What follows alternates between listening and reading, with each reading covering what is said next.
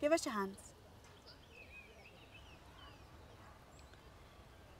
They're quite big. Uh, no, you've just got really small hands. No, no, I, I, I just went for it and it felt like a, a flipper When did you hold a flipper last? last week. But I can see what it is now. Proportionally, it's the fingers. They're a lot longer They're longer. Yeah, good for. Good for getting stuff out of bottles. Honestly, I've never tried that. Something to look forward to.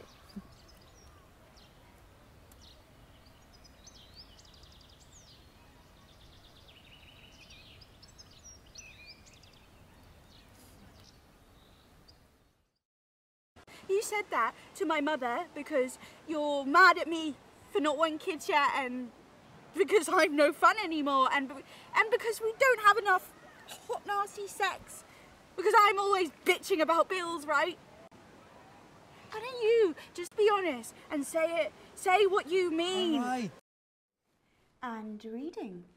Yes, I was looking through your book of the wood, Mr. White's Natural History. Oh, well, how do you like it? I cannot get on.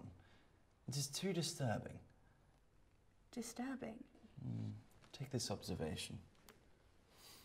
Swifts on a fine morning in May, flying this way, that way, sailing around at a great height perfectly happily. Then, then one leaps onto the back of another, grasps tightly, and forgetting to fly, they both sink down and down in a great dying fall, fathom after fathom, until the female utters Yes? The female utters a loud, piercing cry of ecstasy.